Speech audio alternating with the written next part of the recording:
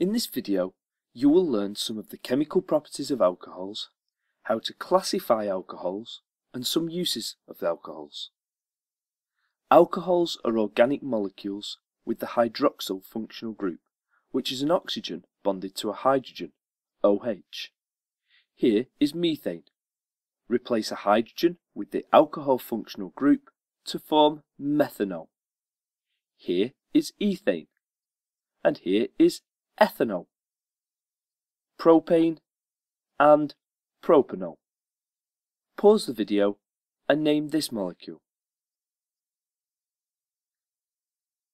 This was butanol. Did you get it right? The general formula of the alcohols is CnH2n plus 1 OH. The OH group generally makes alcohols polar molecules.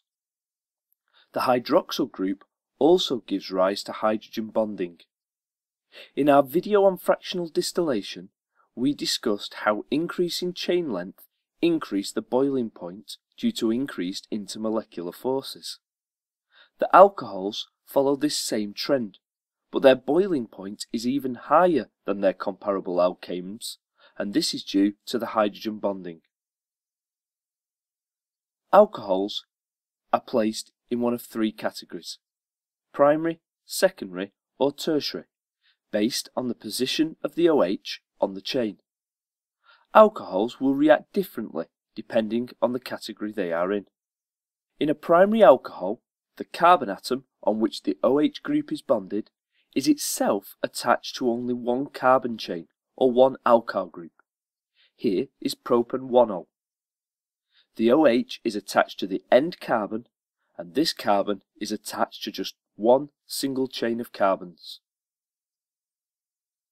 In secondary alcohols, the carbon atom on which the OH group is bonded is attached to two carbon chains or two alkyl groups.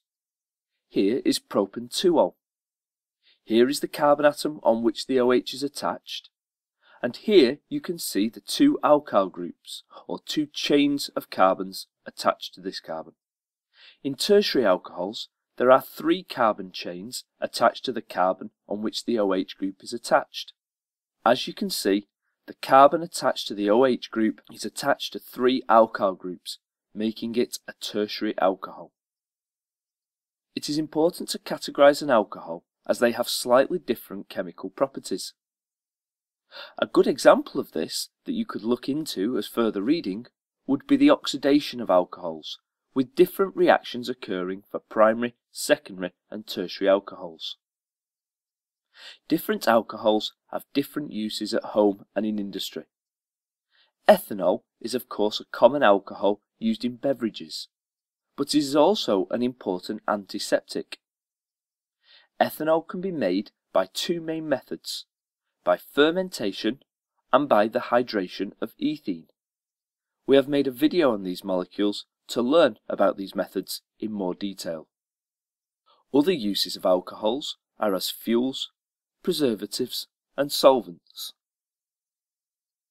Now, at the end of this tutorial, you should be able to identify the alcohol functional group, name alcohols, understand their uses, and be able to categorize them as primary, secondary or tertiary.